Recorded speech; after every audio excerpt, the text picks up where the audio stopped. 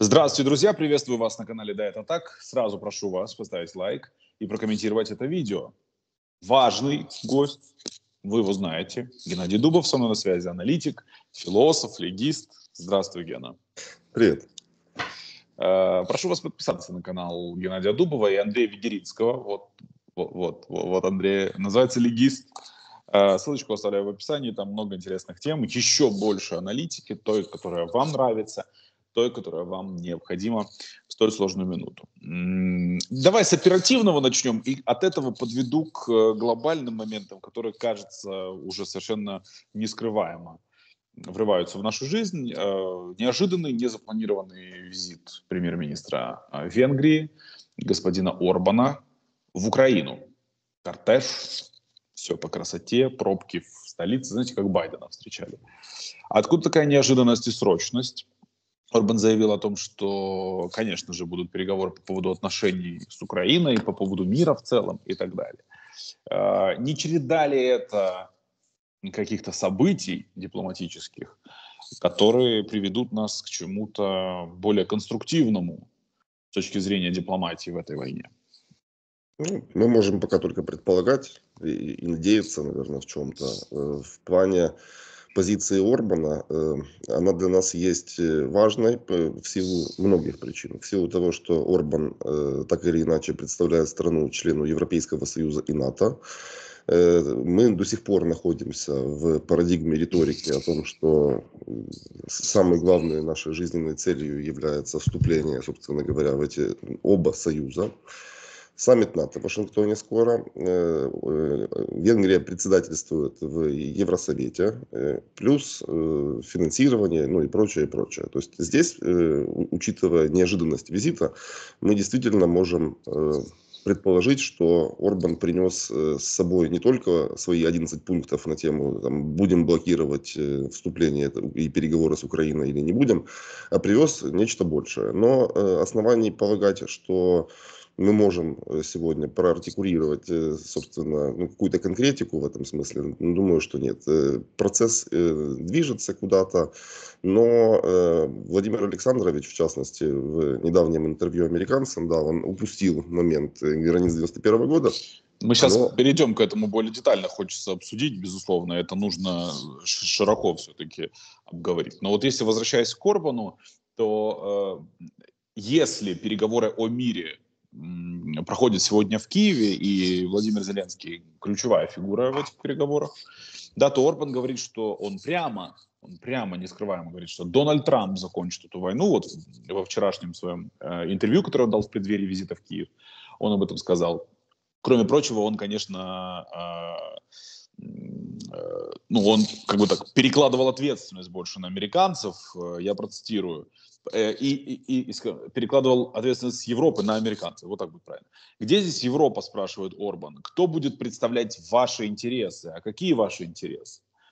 Ну, тут просто хочется понять, действительно, у кого какие интересы в этой войне, и действительно ли Орбан может влиять на эту историю.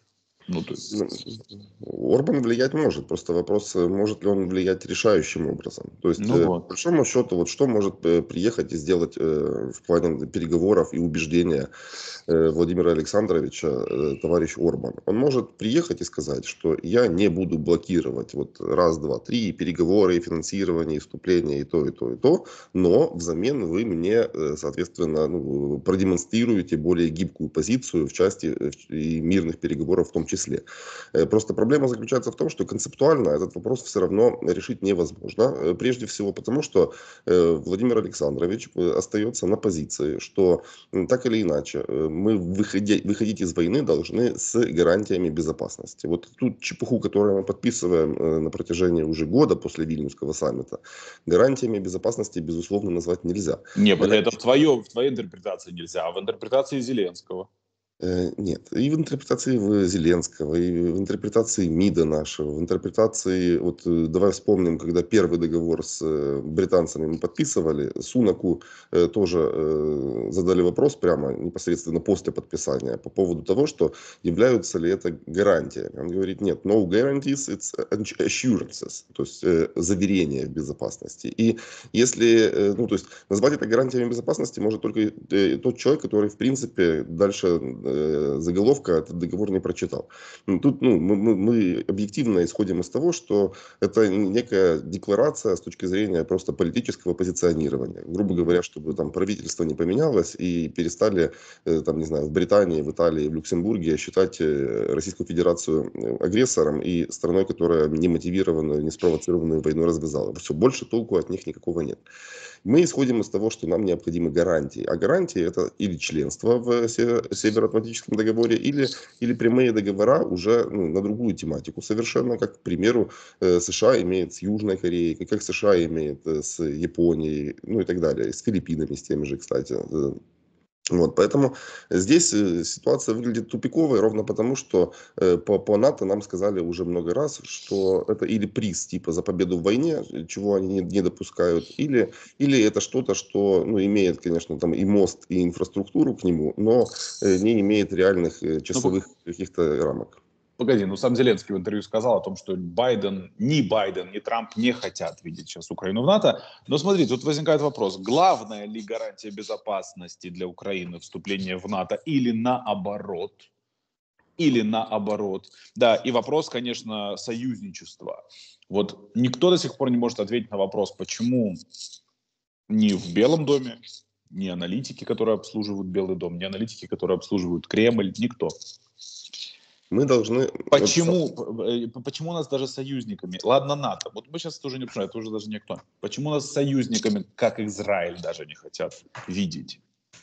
Ну, может и хотят, но опасаются, поскольку у стран и у США, даже обладающие самой крупной и сильной армией в мире, есть соображения своей стратегической безопасности. И эти соображения не включают в себя опцию прямого вооруженного столкновения с ядерным государством, которое э, находится в паритете с точки зрения стратегических ядерных арсеналов.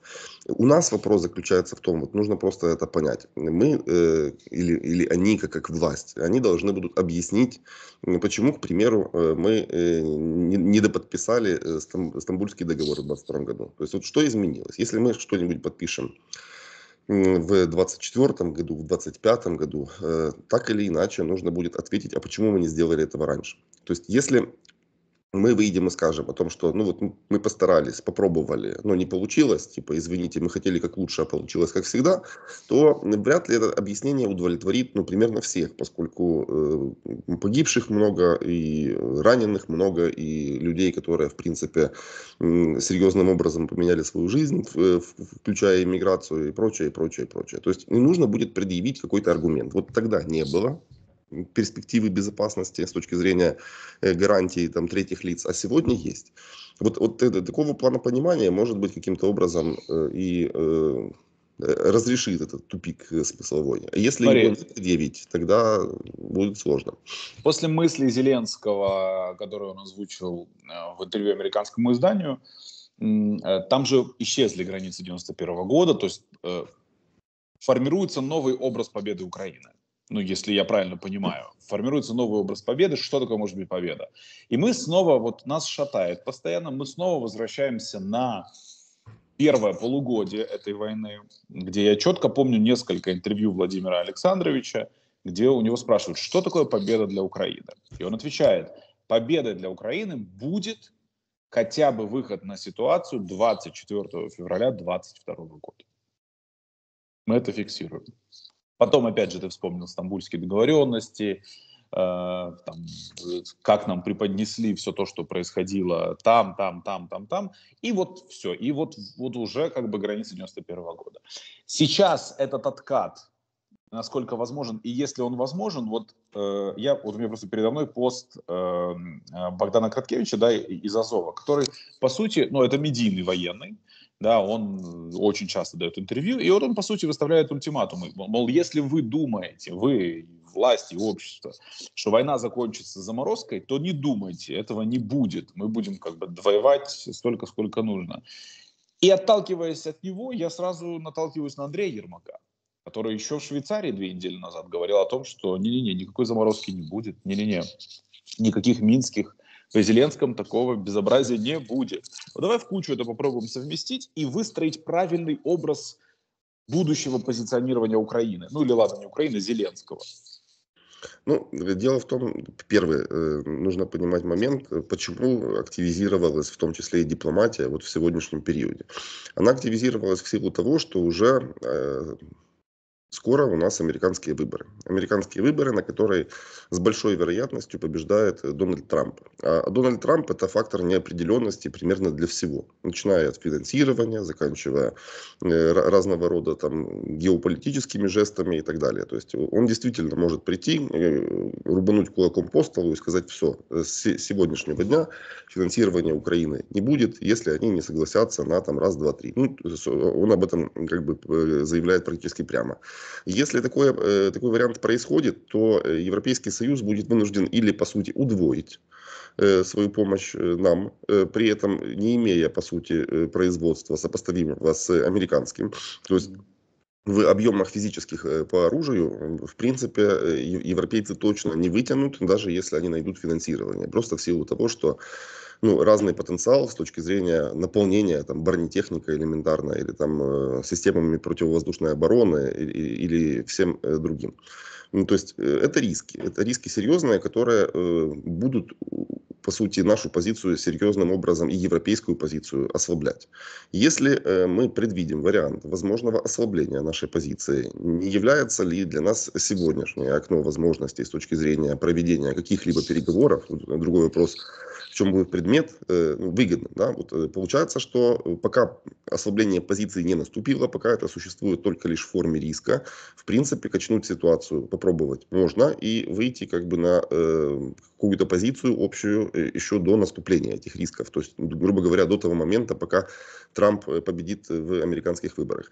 Победит ли Трамп, это тоже бабка на два гадала, поскольку у Дональда Фредовича еще вот на протяжении двух недель будет оглашение приговора. Как приговор э, повлияет на результат избирательной кампании и, в принципе, как выходить из этой ситуации э, на сегодня никто не понимает, поскольку ну, не было просто в истории прецедентов э, подобного плана. И, и, и это все, в принципе, э, лидеров. Вот мы можем посмотреть, например, как на мирном саммите в Швейцарии, как поменялась серьезная риторика чешского президента Петра Павла. Он уже тоже говорит о том, что ну, отвоевать, наверное, все не получится, и, в принципе, если вы сохраняете ну, суверенитет, там столица... Оппозиция аргентинского лидера точно так же. Так, а, да, э, специфика заключается в том, что, в принципе, если ну, не, не настолько прямо, но подобного рода вещи говорились на протяжении всего э, времени э, этой войны в, в полномасштабном исполнении. Это позиция Белого дома. То есть они говорили всегда, что и Милли говорил, и и Кирби говорил, и, и Салливан говорил, что и, и Блинкин, э, и Байден, ну, в общем, примерно все говорили о том, что само по себе сохранение суверенитета и сохранение государственности Украины является большой э, серьезной победой, и с чем э, они нас, собственно говоря, вот поздравляют и поддерживают ровно в этом направлении.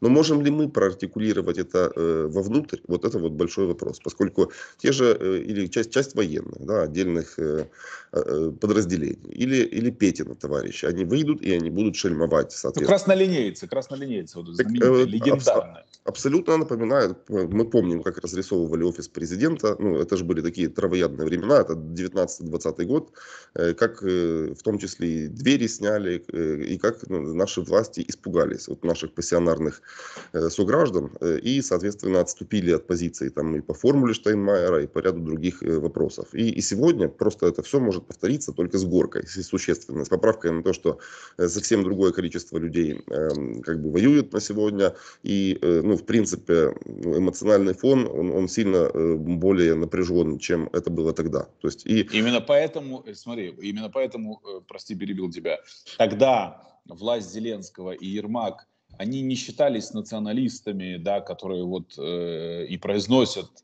все то, что произносят чаще всего праворадикалы и, и националисты в Украине, и э, не кичатся надписями э, с той самой стены офиса президента. Сейчас и Ермак, и Зеленский стали националистами. То есть, по сути, как бы, ну, не предать, не знаю, как слово, предать, э, изменить свою же риторику, на которой вот за эти два с половиной года они э, стали теми, кем они стали, это тоже странно выглядит. Поэтому я у тебя спрашиваю, каким образом надо вот будет выстраивать дальнейшую эту тему. Вот каким, как, как, каким мы увидим Зеленского, там, я не знаю, спустя э, полгода. Вот. И кто э, э, даст ему это кто-то взять или не даст.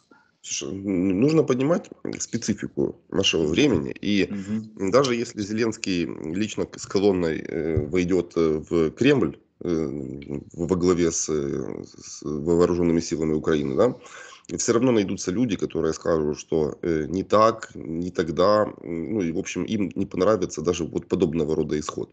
У нас есть прекрасная в кавычках традиция, когда мы э, во всем происходящем не видим объективных факторов, а видим чью-то вину и э, обвинения э, попередников или, или соответственно, mm-hmm. тех, кто, там, ну, предположим же, выборы когда-нибудь рано или поздно начнутся, они э, абсолютно традиционны. Мы, мы часто и сами в себе проблем не видим, и склонны обвинять конкретных личностей, которые находятся у власти. И у Зеленского с Ермаком здесь абсолютно ситуация как бы э, не, не, неизбежно будут в чем-то обвинены. В чем-то в чем именно?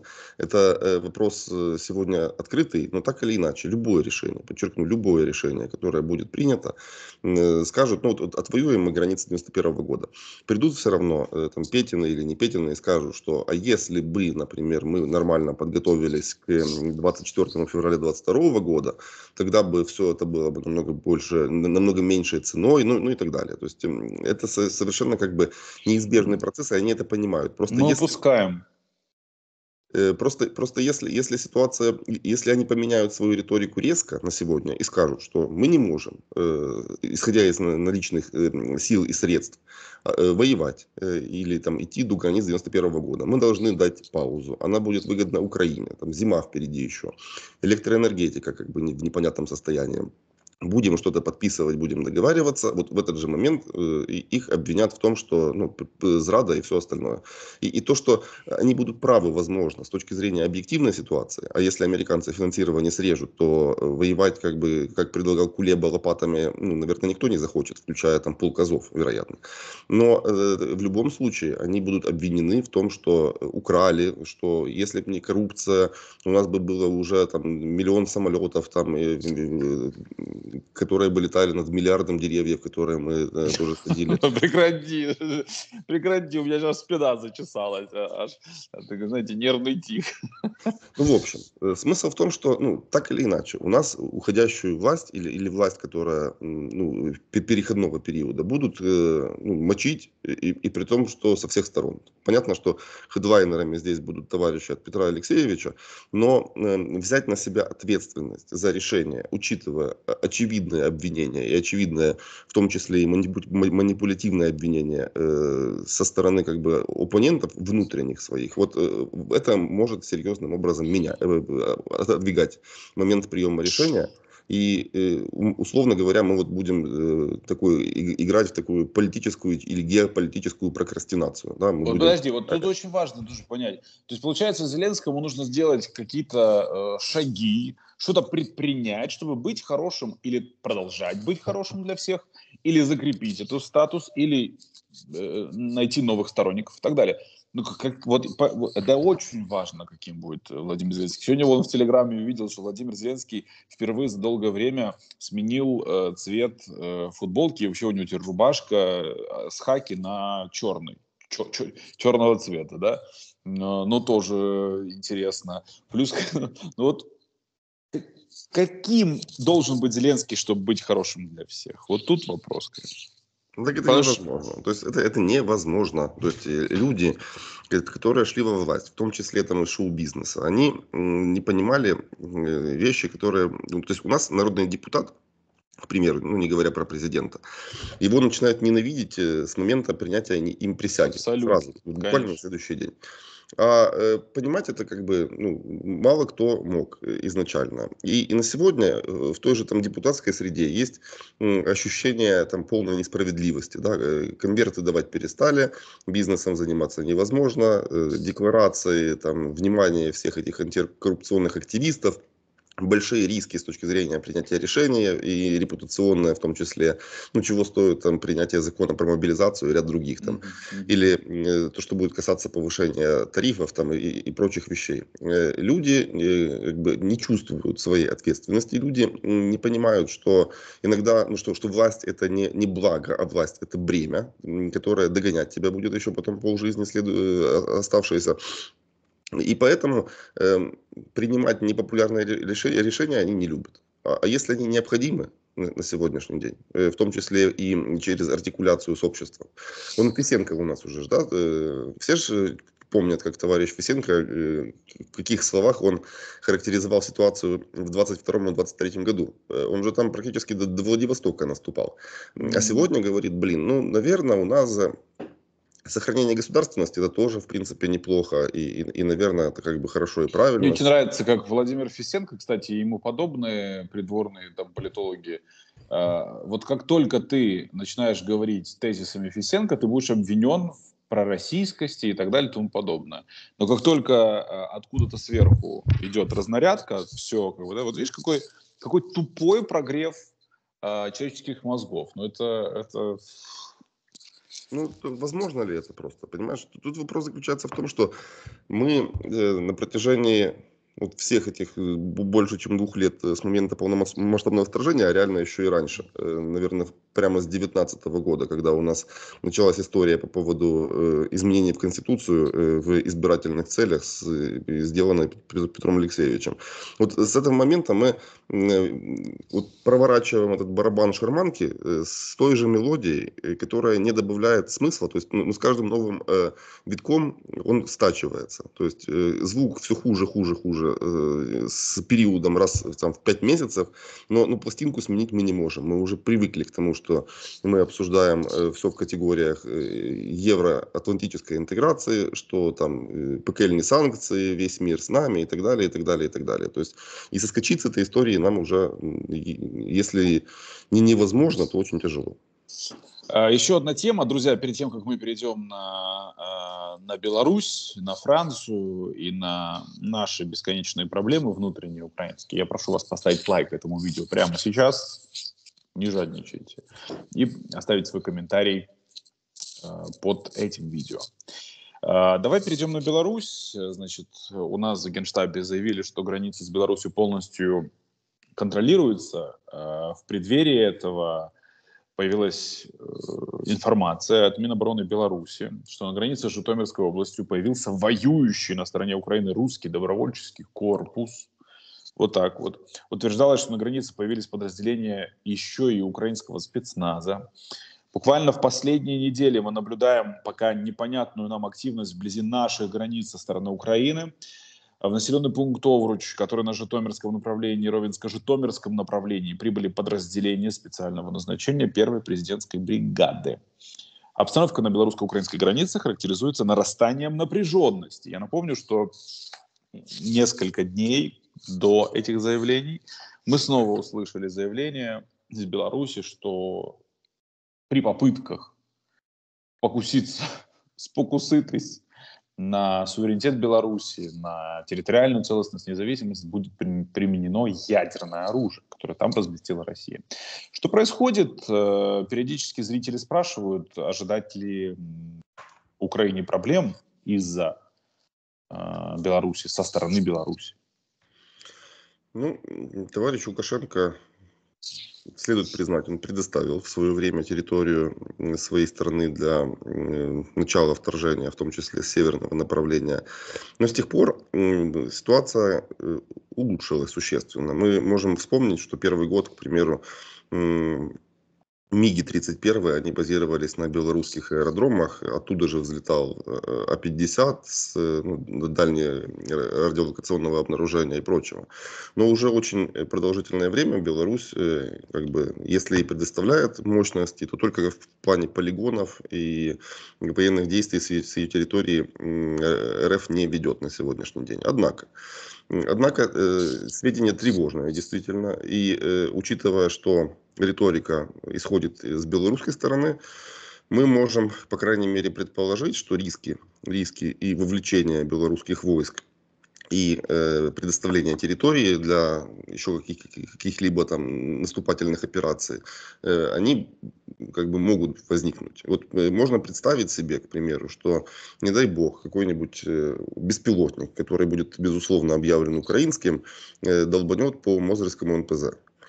И э, будет ли это... Ну вот тут же есть заявление о том, что слишком много украинских э, э беспилотников летает как раз-таки рядышком с белорусской границей. Ну, вот там говорят про разведывательные скорее. Просто я говорю, что может быть э, провокация или, или что-нибудь mm-hmm. в этом духе, что э, сможет вовлечь э, Лукашенко вместе с э, Республикой Беларусь в войну. Э, в любом случае, на сегодня, учитывая подобного рода риторику, нам необходимо держать резервы дополнительные, в том числе и на белорусской границе, э, которая у нас с ними, если не ошибаюсь, около тысячи километров. Это много. То есть э, мы вынуждены минировать, мы вынуждены проводить разведку, мы вынуждены держать какие-то подразделения там. И в любом случае это играет на сегодня, в текущих условиях, э, на руку врага, поскольку наступают именно они. И резервы, которых у нас не хватает, мы должны отвлекать, в том числе на возможность отражения вот подобного рода рисков. А, а что значит заявление Пескова по поводу Беларуси, который заявил, что проблема скажем так, было сказано так, нарастание украинских войск, появление там американских бронемашин и так далее, это проблема не только Минска, но и Москвы. Понятно, там союзное государство, вот прям по пунктам, да, но если есть такое заявление, что предпримет Москва, чтобы, как ты уже писал, по их логике, по их сценарию, предотвратить угрозу, с которой они якобы сталкиваются, они, которую они придумывают для себя?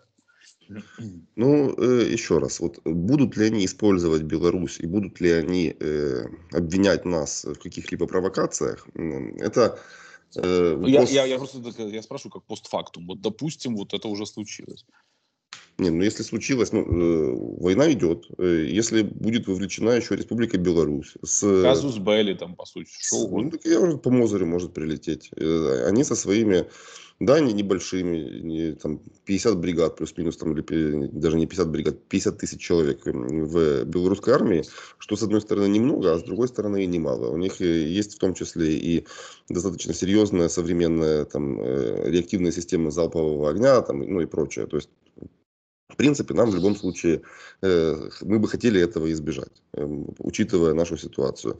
Э, РФ хотела бы, вероятно, вовлечь вооруженные силы Республики Беларусь в войну, поскольку, ну так или иначе, это для них помощь. Но в любом случае, на сегодня, даже вот на уровне этой риторики, которая, которую мы слышим, русские получают отсюда бенефиты с точки зрения того, что мы вынуждены отвлекать свои вооруженные силы, часть, части и подразделения для того, чтобы готовиться к возможному отражению подобного рода нападения еще из севера. Вот э, они, в принципе, э, находятся в ситуации ну, как бы вин-вин. Да? То, что они, э, да, даже если ничего не произойдет, они получают выгоды с точки зрения того, что сковывают наши вооруженные силы, которые вынуждены мы держать на границе с Беларусью.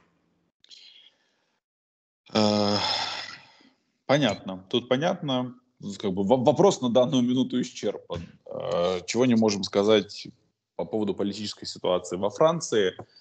А, значит, первый тур выборов, а, скажем так, продолжение выборов в Европарламент, национальные выборы во Франции подтвердила популярность Марин Ле и ее политической силы, праворадикальные элементы французские, значит, в два раза они опережают э, Макрона.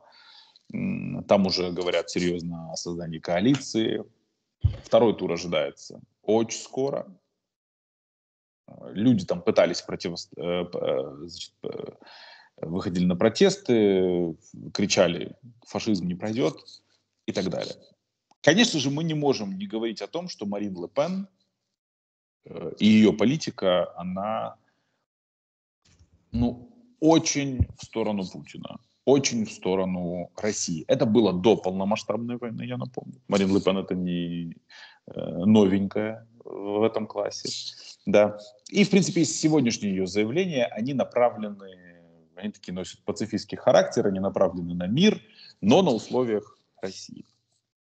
Какими последствиями чревата для Украины э, вот такая политическая турбулентность во Франции – и тут хочется понять, да, учитывая, что Франция до сих пор остается ну, немного зависимой в своей внешней политике и от Соединенных Штатов, все-таки, да, есть игроки такие, как Штаты и Британия.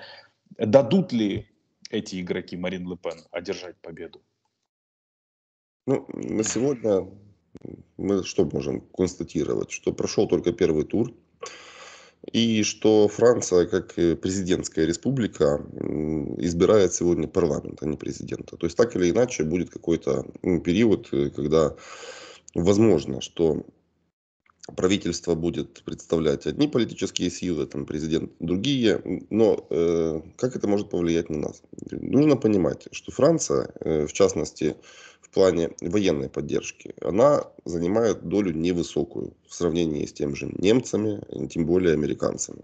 Франция у нас в среднем, если спросить, э, молодец ли Макрон, все скажут, да, молодец. И риторически он крепко нас поддерживает, он там уже и войска вводить практически собирался, э, готовить э, украинские бригады на территории Франции или отправлять к нам инструкторов. Мы много-много слышали от него вдохновля... вдохновляющих речей, но если посмотреть на поставки оружия со стороны Республики Франция и сравнить, например, с ФРГ, там разница будет на порядок, то есть раз в 10. При этом немцы и Шольц для нас э, такие сомнительные партнеры, как вот в массовом сознании, да, и Таурусы не дают, и, и с танками затягивали и так далее.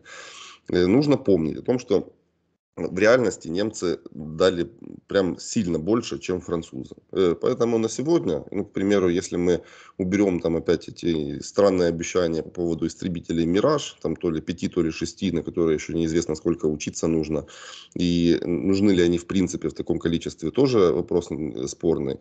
Мы можем прийти к выводу, что любые э, события во Франции, они ключевым образом ни на что не повлияют. Мы скорее с опасением э, можем воспринимать понимать э, возможный приход Трампа э, в Белый дом, и это на нас повлиять может действительно сильнее. Ну, а, хотелось бы просто понять по поводу Франции, да, вот, э, в принципе, и Франция, и эти течения праворадикальные по всей Европе, они могут ли как-то конкретно повлиять на политику Европы в отношении Украины, России? Опять же, да, еще раз, Эммануэль Макрон, он э, по сути своей, да, никогда не, не был замечен в праворадикальных каких-то ультранационалистических заявлениях, но Эммануэль Макрон первый, кто заработал себе проблем после заявлений о том, что НАТО неэффективно, о том, что Европа чуть ли не в оккупации находится да, после Второй мировой войны, в заложниках у Соединенных Штатов и так далее. Продолжит ли, например, Марин Ле Пен после прихода в 27 году выборы, это не так долго, да, и, и мы прекрасно понимаем, что Марин Ле Пен уже баллотировалась и, и, и участвовала с Макроном во втором туре. Продолжит ли вот эту политику национализации, э, избавления, де, де, да, э, праворадикальные силы так Или... для, для французов это очень традиционно все. Там со времен mm-hmm. Деголя они там и, и в НАТО членство приостанавливали. И в принципе, вот если мы посмотрим на и, и сравним, к примеру, любое, ну почти любое, может, кроме Германии, государство и Францию, мы увидим, что Франция, к примеру, у нее свои самолеты, э, Рафаль и Мираж, у нее свои танки, у них э, своя судостроительная промышленность, у них атомка своя. То есть они так или иначе всегда склонялись к тому, чтобы не растворяться в НАТО и в Соединенных Штатах, так сказать, с одной стороны. С другой стороны, э, разговоры про европейскую армию, которая будет э, сопоставима там, с армией США, они ведутся чуть ли не десятилетиями и пока ни к чему не привели. Почему ни к чему не привели? Потому что, по сути, э, выгодно э, ряду европейских государств, не тратя на оборонку, вот за что порицал Трамп постоянно европейских партнеров, так сказать, эм, они, э, там понятие целое было введено, мирная рента. То есть рента, когда ты можешь ничего не тратить на вооруженные силы или мало тратить, можешь не развивать ВПК, у тебя есть большой брат, у него самая большая армия, ядерное оружие и прочее, он тебя защитит, потому что есть mm-hmm. Вашингтонский договор и его пятая статья. Вот. Э, будут ли готовы сегодня в условиях электоральной демократии европейские политики сказать своим гражданам, что все, как бы лафа закончилась, будем тратить там, не знаю, 5% ВВП на э, армию, будем возобновлять в том числе, возможно, там призыв на воинскую службу, ну и так далее, и так далее. Смогут ли сегодняшние политики подобного рода вещи озвучить и, и тем более воплотить в жизнь? Э, это большой вопрос. Мы видим, что даже э, у них через дорогу, э, когда бушует война, никто не собирается вставать по-настоящему на военные рельсы. Да, помогают, за что мы им благодарим, но развитие там или взрывного роста, к примеру, э, и военных технологий, и военного производства мы не наблюдаем. Даже при том, что они не могут не понимать, что война рядом. Поэтому а Поэтому... по твоим ощущениям, Европа, вот сейчас Европа, спустя эти два с половиной года, не готовится к большой войне с Россией? Вот как ты А я не вижу признаков. То есть у нас, у нас э, даже несмотря на то, что э, война идет, там э, в Латвии, к примеру, не могли, не, не смогли там 100 человек собрать на э, контракт. И они там какую-то лотерею устраивали.